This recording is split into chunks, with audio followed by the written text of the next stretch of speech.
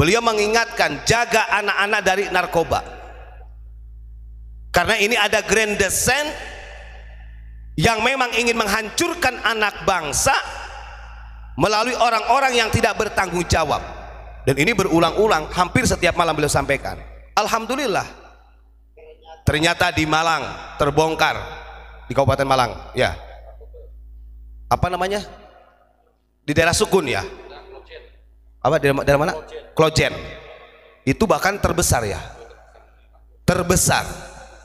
Dan ini artinya perjuangan yang disampaikan oleh Abu Yamama Gufron. Ini sangat ada hasil ada buahnya. Hanya kamu-kamu saja sibuk dengan komentarnya tidak pernah memperhatikan. Coba kira-kira andai kata ada orang yang lagi komentar sebenarnya dia ini adalah terlibat. Bagaimana tuh perasaannya ketir itu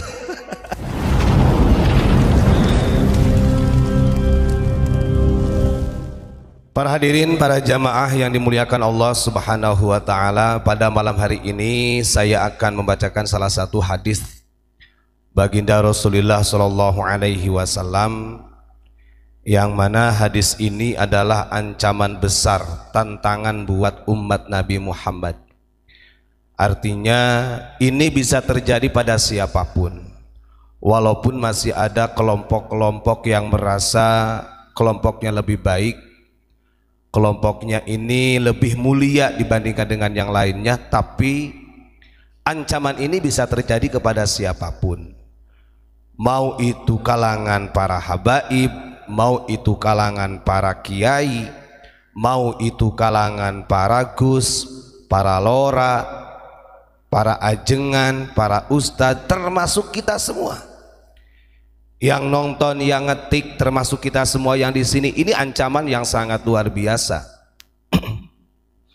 Apa yang disampaikan oleh kanjeng Nabi, ya'ti 'alan nasi zamanun himmatuhum butunuhum wa syarafuhum mata'uhum wa qiblatuhum nisa'uhum wa dinuhum tarahimuhum wa dananiruhum.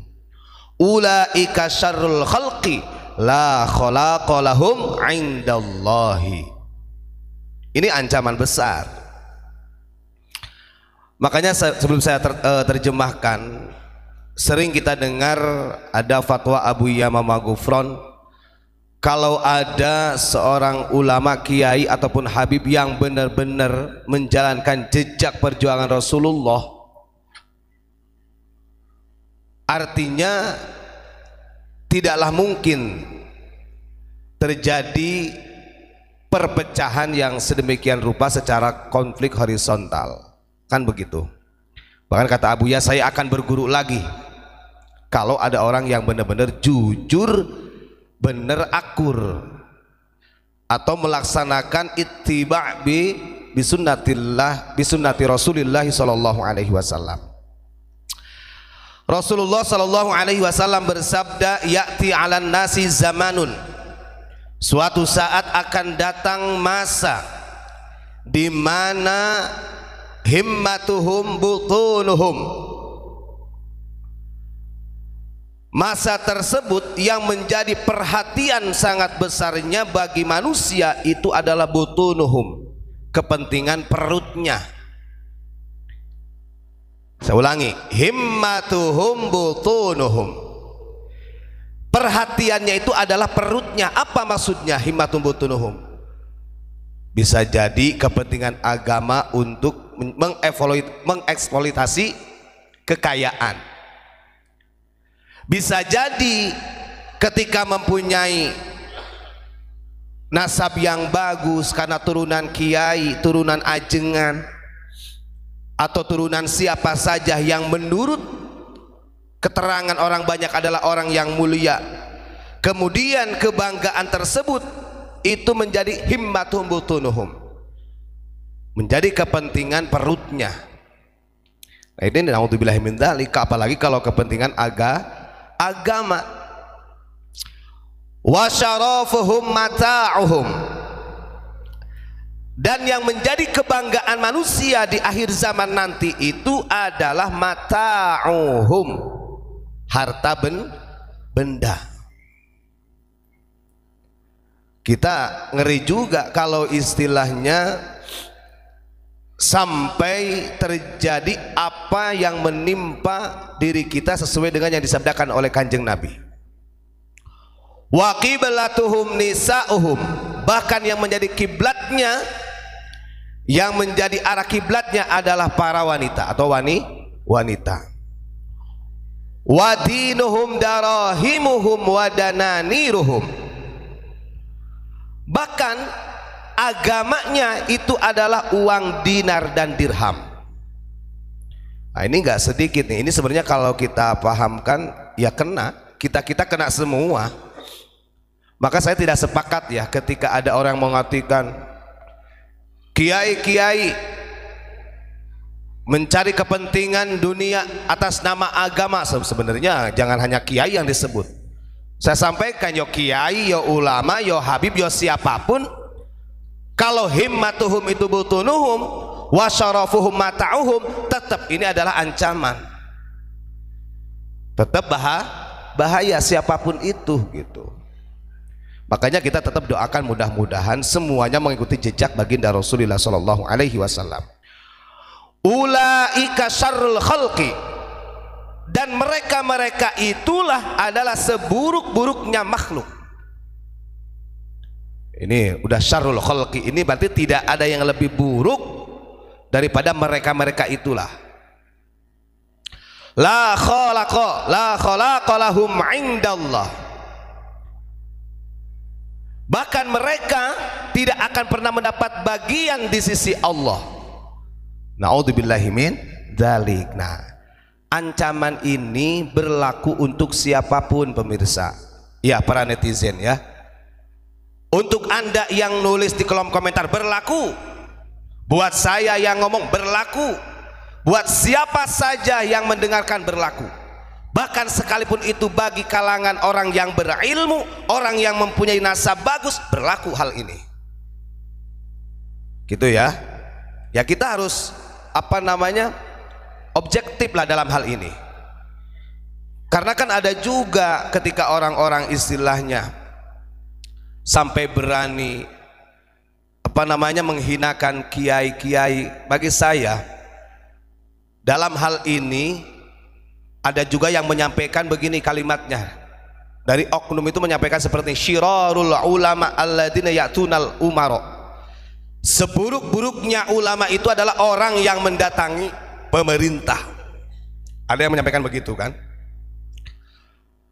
Tapi kita balik lagi ketika ada ulama yang mendatangi perintah atau pemerintah dan kebutuhannya adalah untuk memperbaiki pemerintahan itu malah bagus Gus. Artinya sekalipun andai kata nih kita cerita ada ulamanya tidak mendatangi pemerintah pemerintah yang datang kepada ulama yang kemudian dengan sebab pemerintah datang kepada ulama akhirnya ulamanya terbuai. Ya sama saja makanya di dalam hadis ini disampaikan oleh kanjeng Nabi yang paling bahaya nanti di akhir zaman itu yang menimpa umat manusia ketika himmatuhum butunuhum wa syarafuhum mata'uhum wa qiblatuhum nisa'uhum wa dinuhum tarahimuhum wa dananirhum. Ulaika syarrul khalqi kata kanjeng Nabi. Nah maka kalau udah disampaikan narasi seperti ini gak ada kepentingan istilah kemuliaan seseorang kemudian akan membela dari karakter sifat tabiat yang terjadi seperti nggak bisa. Siapa pun itu. Makanya betul kita kembali lagi pentingnya kita memperbaiki diri dengan amal amal kebaikan dengan ketakwaan dan keimanan yang betul-betul. Ini yang perlu ditingkatkan. Makanya di dalam khutbah Jumat kita sering lihat kenapa di dalam khutbah Jumat itu ada wasiat takwa. Lagi-lagi wasiat tak takwa. Dan wasiat yang disampaikan khotib kepada para jamaah Jumat ini bukan hanya bagi orang yang nggak punya nasab saja. Semua yang punya nasab bagus itu diberikan wasiat tak takwa. Karena kembali lagi inna akramakum indallahi atqa atqakum Bahkan di dalam Al-Qur'an sendiri Allah Subhanahu wa taala kan berfirman begini. Fala tagurrannakumul hayatud dunya wala yagurrannakum billahil ghurur. Yang artinya janganlah sekali-kali hidup di dunia memperdayakan kamu dan janganlah pula penipu atau syaitan memperdayakan kamu dalam mentaati Allah. Nah ini masalah tipu daya ini luar biasa. Bisa jadi tipu daya ini terjadi pada diri, diri kita. Jangan kira. Dan ayat ini hitobnya ini untuk siapa pun. Ayat ini disampaikan untuk siapa pun, baik itu yang punya garis keturunan kepada baginda Rasul ataupun tidak tetap ayat ini menjadi warning buat kita semua semua maka harusnya tidak, sudah tidak ada lagi pembelaan-pembelaan dikarenakan ada sesuatu dan kelompok ini lebih baik tidak tetap semua insan itu sama di hadapan Allah. Yang menjadi ketentuan adalah iman dan takwanya. Gitu betul apa tidak? Betul lah. Makanya harus hati-hati. Terus kemudian yang ingin saya sampaikan di dalam live streaming Abu Yamama Gufron ini sering kali mengingatkan bahkan tanpa disadari para netizen ini mempertulis sendiri beliau mengingatkan jaga anak-anak dari narkoba. Karena ini ada grand descent yang memang ingin menghancurkan anak bangsa melalui orang-orang yang tidak bertanggung jawab. Dan ini berulang-ulang hampir setiap malam beliau sampaikan. Alhamdulillah ternyata di Malang terbongkar. Di Kabupaten Malang ya. Apa namanya? Di daerah Sukun ya apa di daerah mana? Klojen itu bahkan terbesar ya. Terbesar. Dan ini artinya perjuangan yang disampaikan oleh Abu Yamama Gufron. Ini sangat ada hasil ada buahnya. Hanya kamu-kamu saja sibuk dengan komentarnya tidak pernah memperhatikan. Coba kira-kira andai kata ada orang yang lagi komentar sebenarnya dia ini adalah terlibat. Bagaimana tuh perasaannya ketir itu. Dan jangan disalahkan ketika pondok pesantren unik bahkan Abu Yamama Gubron dengan tegasnya hati-hati.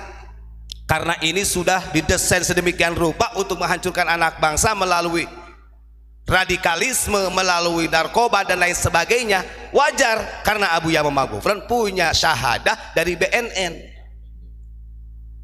2009 2009 waktu itu. Bahkan Ustaz Ibrahim ikut pada waktu itu. Saya juga ikut dan ini akan mengancam keselamatan anak bangsa. Itu menjadi catatan. Kan cuman banyak orang yang nggak sadar. Yang namanya orang itu kalau sudah buta hatinya ya begitu itu. Ada yang bagus gak akan diambil karena sudah tertanam yang dilihat yang didengarnya adalah keburu keburukan. Tapi ya tidak apa mudah-mudahan Allah berikan hidayah dan Allah berikan sel selamat. Dan ini efeknya sangat besar.